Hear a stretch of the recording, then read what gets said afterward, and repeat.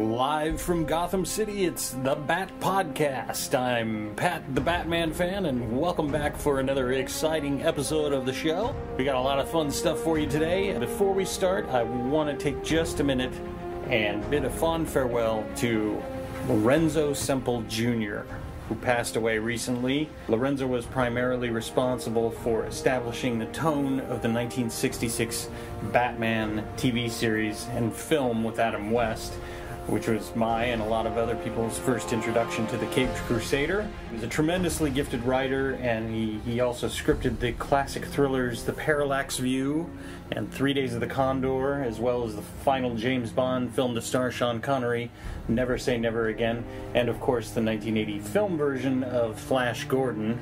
He left an indelible mark on the legacy of Batman. He will be missed, and tonight, another bright star burns in the night sky over Gotham City. Okay, on with the show. Uh, my interview with Adrienne Barbeau will be up in about a week or so, but before that, I wanted to give you guys a little treat because I was lucky enough to interview somebody I've been dying to meet and to talk to for a long time now.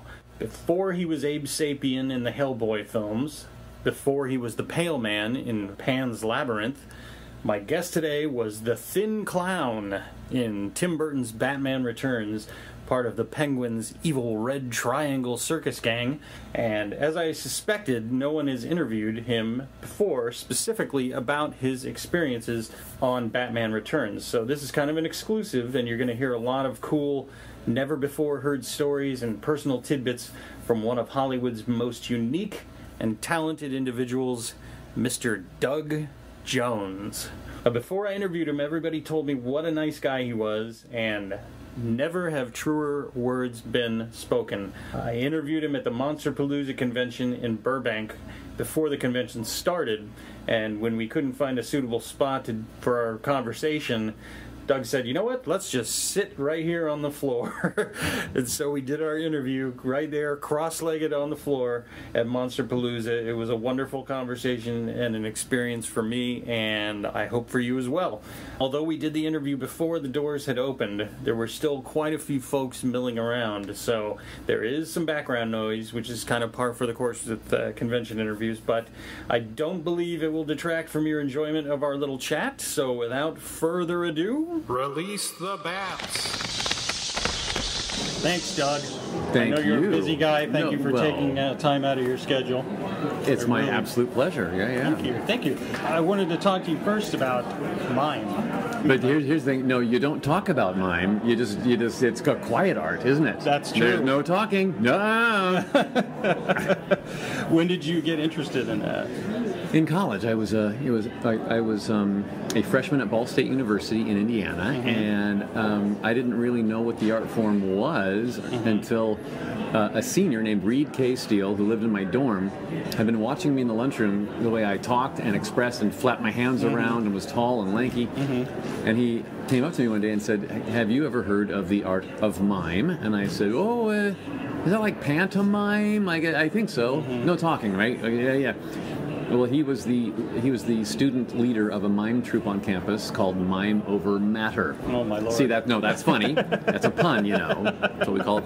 So, uh, so he said, "Come see one of our shows, and then we'll talk." And that's what I did. I went and saw their show that weekend, uh, uh, and I was mesmerized by this stage full of people wearing, you know, black leotard things and with, a, with nothing but a black curtain behind them and white face, white gloves, and they were making worlds happen that I that I could imagine. Props that weren't there, and other people that weren't there, and animals that weren't there, and cars that weren't there, and uh, they were walking in, against the wind, and they were building walls that weren't there, and it was just such a fascinating art form that I I did immediately like uh, yes I want to how do I audition for this troupe? Blah blah blah so I did and they took me and and uh, that started my four years in the mime troupe at Ball State University. So with that I developed my own solo act and and uh, with doing that with coming up with sketches and material to do our, our next show and our next show uh, I guess my body responded to storytelling. It, you take verbal dialogue away, and then you're left with visual dialogue, right? So uh, that's why the facial expression, your posturing, your gestures, and then all that body isolation type technique that you do to create things that aren't there, like leaning against a wall or walking against the wind or whatever. That's all skill that you have to learn and uh, practice. And uh, I had no idea that that was early groundwork for wearing creature and monster suits and makeups later in my career that, that where um, expression and in, sometimes with dialogue, sometimes without, but still a story being told with every character that you play like this. So uh, uh, I had no idea the groundwork that, that was being laid, but I'm really thankful for it. I was going to ask if your acting career stemmed from the mime work. They were side by side all the way. I, when I was a, when I was a, a kid, I was, a I was a lanky. Uh, yeah, look at me now. I'm six three and a half, 140 pounds. I've always looked like this. I was the tallest in my class. I was the skinniest in my class. I was the least athletic in my class. And, and when you're built like that in Indiana, kids make fun of you relentlessly. Defense mechanism is I will have a sense of humor. Right. I will, if they're going to laugh at me, I'm going to be in control of why they're laughing at me. Right, exactly. So that developed with inspiration from Dick Van Dyke and um, Don Knotts and uh, Bob Denver as Gilligan or uh, uh, Jim Nabors as Gomer from Go- Gomer Pyle.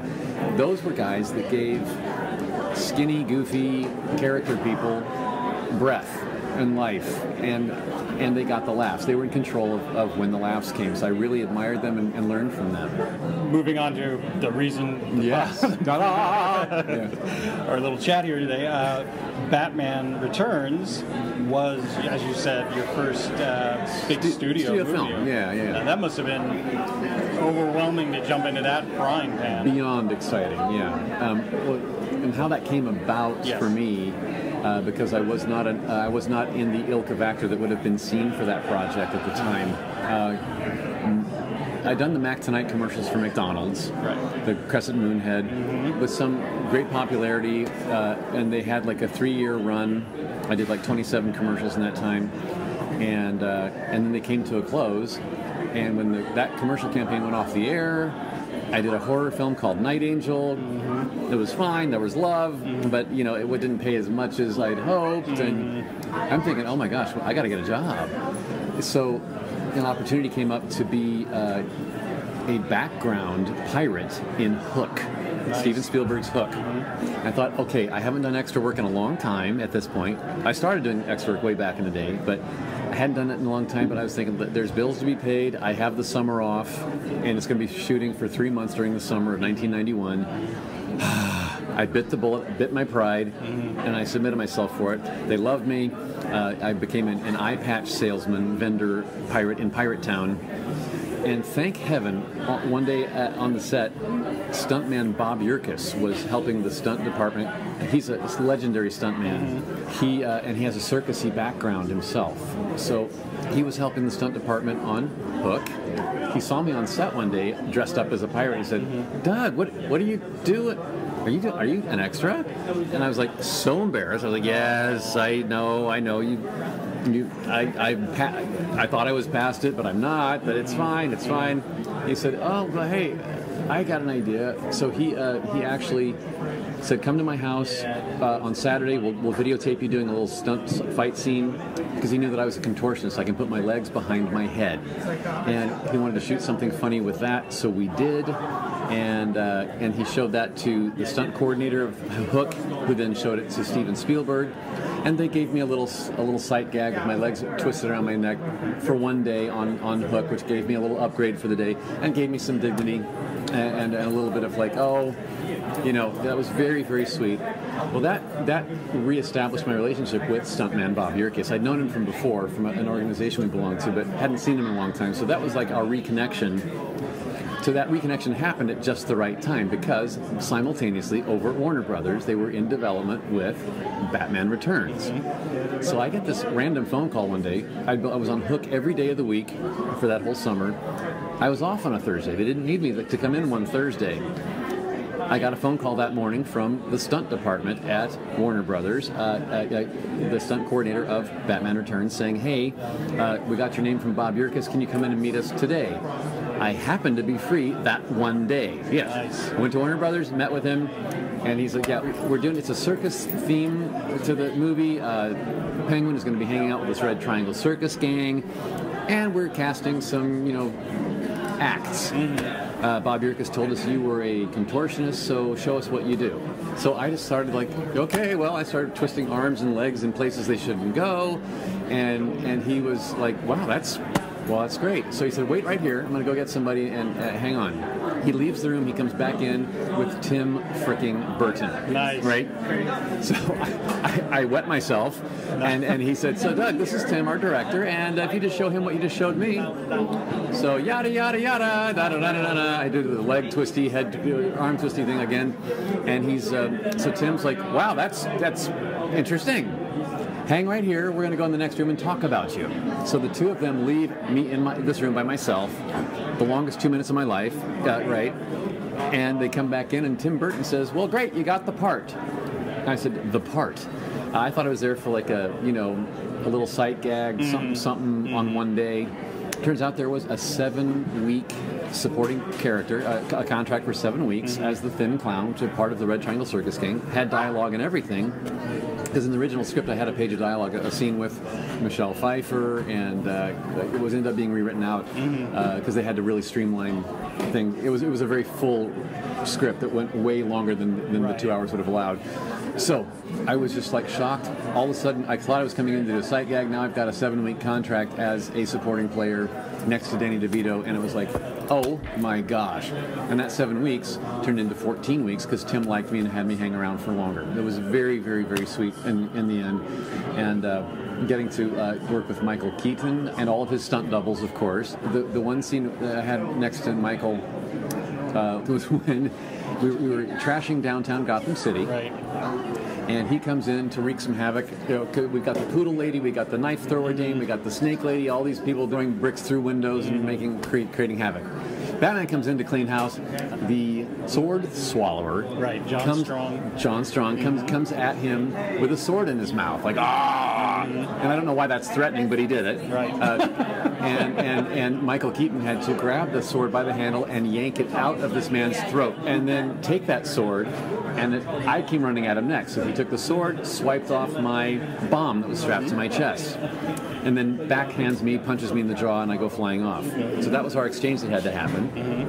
And Michael, bless his heart, uh, had never pulled a sword out of someone else's throat before, and it would give you the heebie-jeebies. It gave, oh, just watching it gave me, I, I got irpy. So Michael, uh, he, he's, he's like giving it a go, and, and John Strong is trying to convince him, seriously, I do this for a living. It's all the time. It- it's, it's safe. Just pull it straight. Don't try to don't try to angle it out, and I'll be safe and fine. So Michael's nervous as you, as he should be. He's pulling this out, and with it came like that really thick bile saliva, Yep. the dripping, a big string of it is kind of bowing out. Michael looks at it, goes no, and turns his head away, grossed out. So I, I got I got a good chuckle out of that, and when.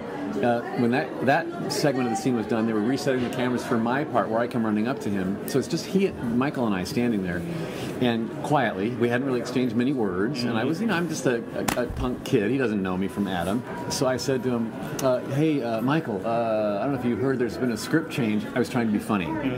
He goes, "Oh no, what, what what's uh, what's uh, what's different?" I said, "Well, uh, since you did such a great job pulling the sword out of the sword John's throat, we thought that maybe you could pull this bomb out of my navel."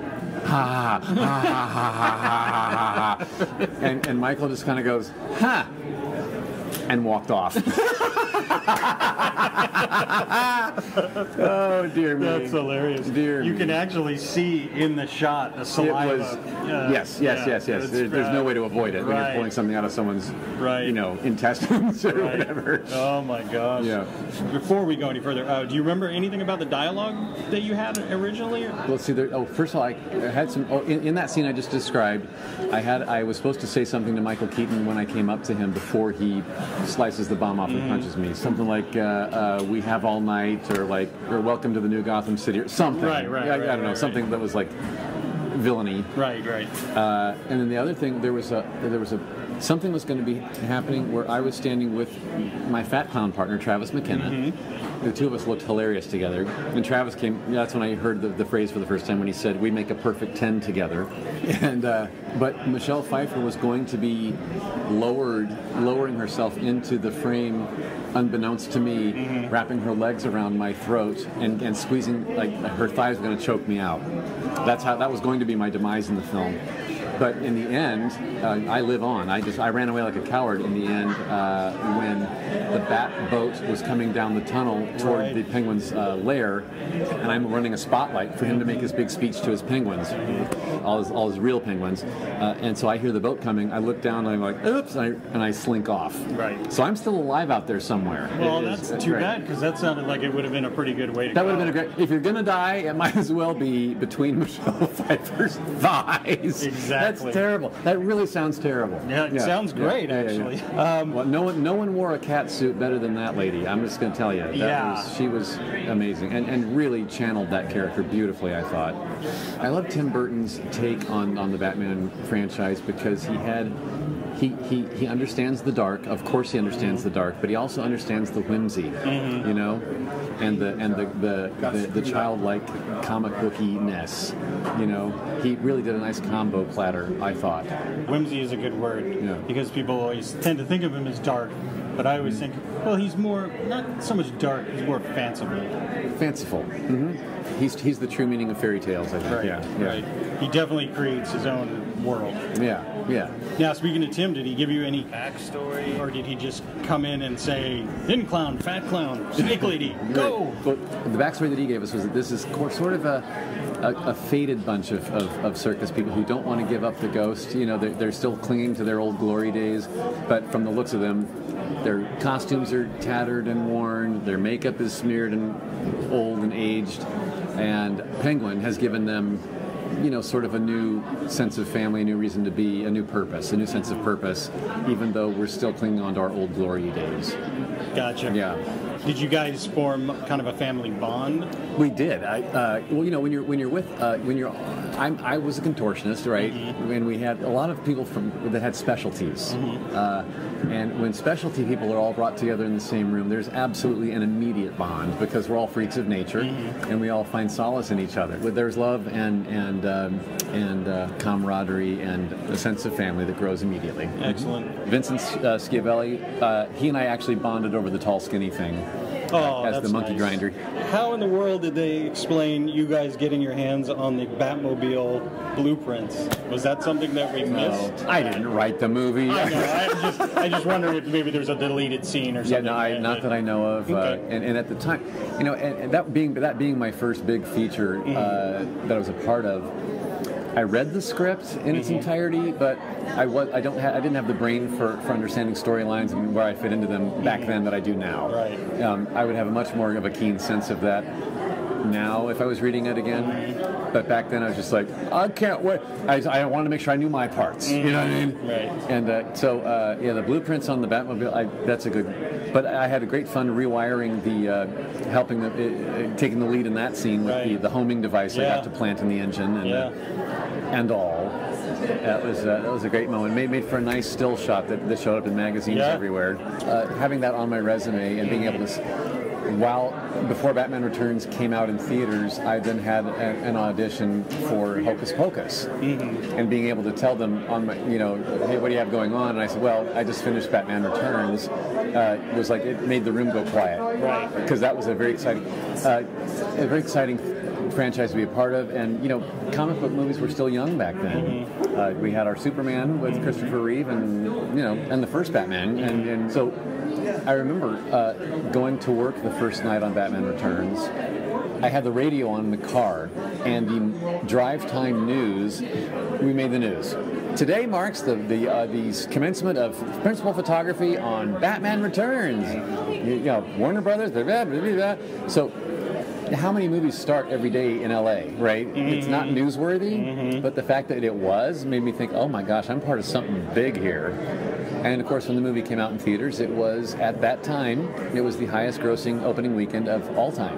Mm-hmm. So I uh, I was very proud to be uh, a, my, my small sliver of a part in that. I really was. It was Yeah. a fun ride to be on. It's funny because everybody that I've talked to about their pieces in the Batman legacy, be it a writer, be it a stuntman, be it a vehicle designer, be it an actor, they're always it's always a positive thing. They're always like, I feel so lucky to have been mm-hmm. part of that universe, you know. Well, totally. Well, it, it, feed, it feeds the little boy comic book reader in all of us mm-hmm. to be a part of, of something like that, to be able to, you know, live and breathe on film in a in a in the world that you, you thought was all fantasy before. Now it's real. You know, it's great. Did you read a lot of Batman comic books when you were a kid? I, I actually read more Superman and Ar- the Archies. I was a big Archies fan. Oh, yeah, yeah, yeah, That's really funny. yeah. But I, was a preteen, and, and I thought that the, the teenagers were really cool. So I, want, I wanted to be like I wanted to have my own rock band like Archie did. It's great that you've ended up where you are now because I can think of very few people who seem like they're doing exactly what they're meant to be doing. you know what I mean? You're very kind, thank you. Yeah. There are others who do what I do. Yeah, that's why we're here at Monster Blues, actually, Right. to, to screen the movie Men in Suits, a documentary with a lot of people that like me that are being interviewed in it.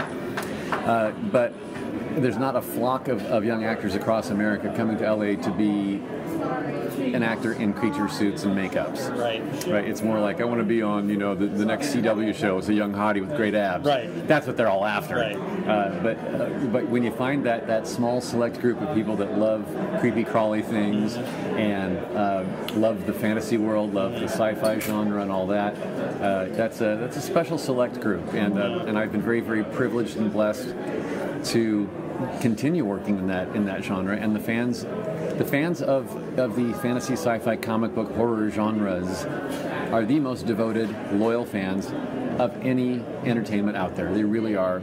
Uh, the conventions out there in the convention circuit, all all the comic cons and the horror cons and the sci-fi cons, uh, prove it. Yeah. That these people uh, turn out in droves to meet the people they've been watching on TV and film, and uh, those are the people that bought my house for me. So I, I love I love fans of this genre with all my heart because Yeah. uh, without them I don't have a career. Right. I talked to Adrienne Barbeau too about Yeah, yeah, Uh, being Catwoman on the animated series, Right. and I mentioned the horror fans to her too, and said, "Yeah, they're just the greatest." Yeah, Yeah. they'll never leave you, No. and I love you for it. Yeah. Again, I think it's cool how you just sort of organically developed into your own little space in Hollywood, you know. because- and you. I'm glad that you're such a nice guy. I mean, thank you for being nice and Well, taking the time Thank to. you.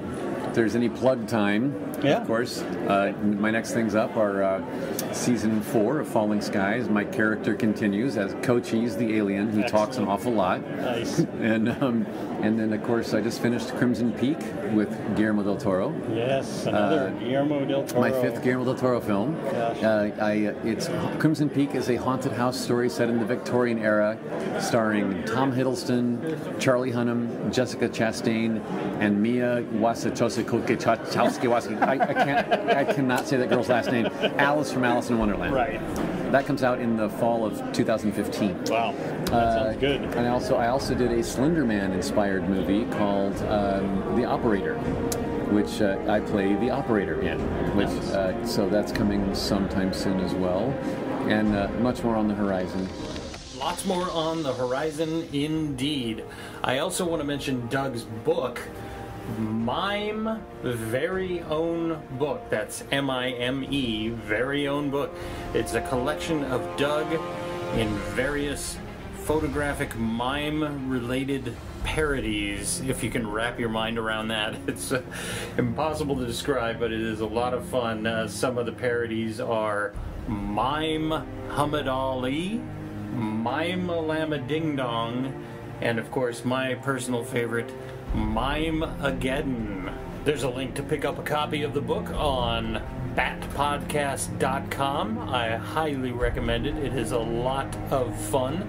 And make sure you follow Doug on Facebook and Twitter at actor Doug Jones. And of course, Doug's own personal website is the Doug Jones Experience.com. Dot com and you can keep an eye out for upcoming conventions that he's going to be appearing at. And it is indeed an experience meeting Doug, one I'm happy to have had and hope to have again. He's in your town. Buy a ticket. Go meet him. He is a fantastic guy. And as they say, it's not a convention unless you get a hug from Doug. And that is so true. He is a very huggy guy, a true sweetheart, and I cannot wait to see him again. So thanks again to Doug, and thanks to you for listening. I hope you had a great time. I did. You can, of course, follow me on Twitter at Pat the Batman Fan and on Facebook at The Bat Podcast. And there's links, of course, to those on batpodcast.com as well. Don't forget my interview with Adrienne Barbeau, aka Selina Kyle, aka Catwoman from the animated series is coming up soon.